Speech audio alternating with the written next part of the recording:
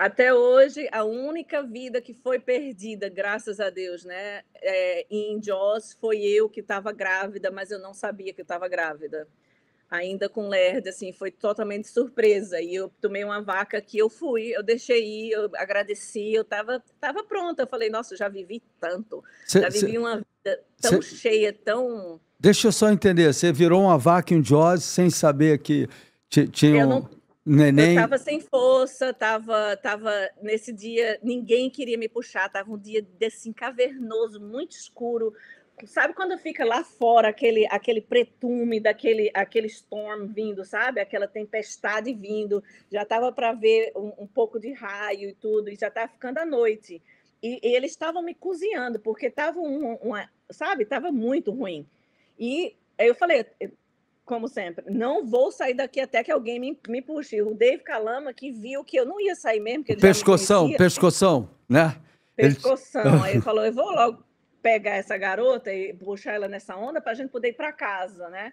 Então, quando ele foi, estava subindo o mar, muito subindo, então ele foi e ficou queimando a minha perna, né? Queimando lá, eu lá, né? Esperando e cada vez mais para dentro, cada vez mais para dentro como eu não tinha levado minha prancha, porque ninguém tinha deixado eu ir nesse dia, e eu fui, né, nadei, pulei, quebra-coco, nadei até lá, né, essas, loucuras que eu já fiz na vida, eu entrei lá, então eu peguei a prancha do Laird emprestado. Então, claro que ele é 6'2", né, eu sou 5'4", quase 10 inches de diferença. Então, a stance dele era muito aberta. Então, quando o Dave Calana finalmente me puxou. A gente estava tão lá atrás que ele me puxou na primeira onda da série.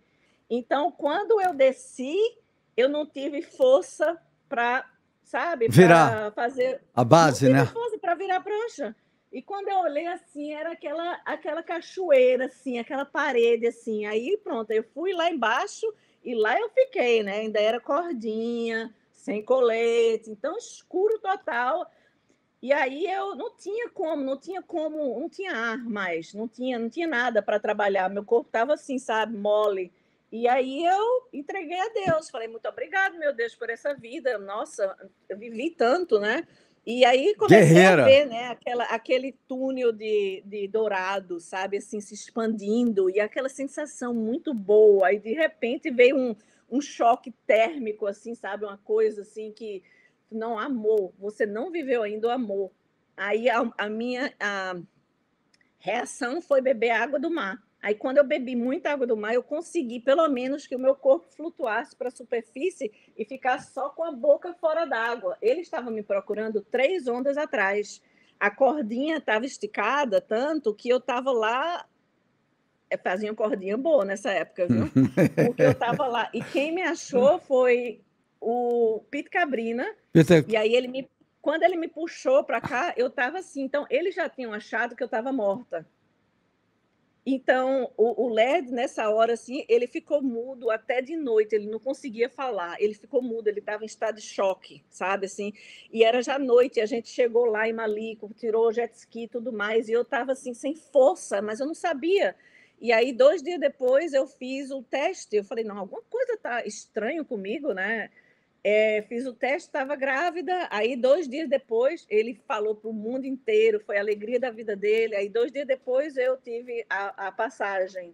Não, oh. não sobreviveu aquela falta de ar, né? Porque eu já estava já, eu já entregue, já estava. Pô, que história, né? É, é mas o importante mas, graças é que. a Deus que foi a única ainda, e, né? e, graças a Deus. E deixa, e você tem a Bela, né? Está com quantos anos? Sua filha é linda, Nossa Senhora. Está com 28 anos, ela é maravilhosa. 28? Bela. E, e o outro, você é casada agora com o Havaiano, né? E... Fui também, mas já separei. Ele é canoa, tem 13. 13, Foram né? 15 anos oh. de muita onda oh. entre um e outro.